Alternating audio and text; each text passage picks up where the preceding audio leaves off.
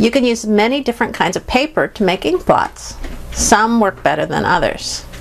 I have a selection of paper here from simple computer paper to construction paper to nice printmaking paper. So I actually don't know how ink blots look on half this paper. So let's find out.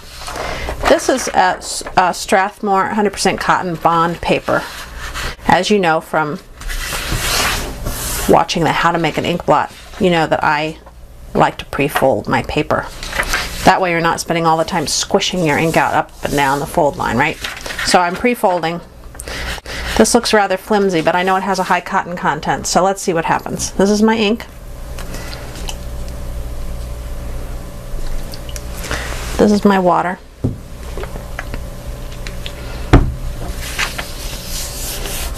Hmm, lots of leakage. Look pretty nice. Let's add a little bit more for fun.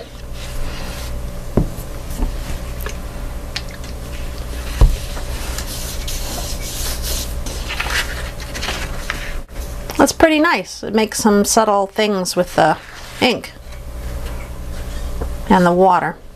So let's try that. So that's the Strathmore. This is just plain computer paper.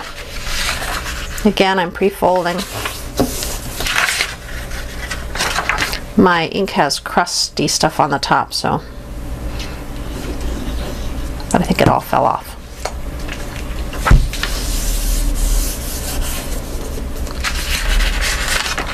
See, that works too. Actually, even a little bit better than the Strathmore because it has a, a hard surface and the ink doesn't soak through so much.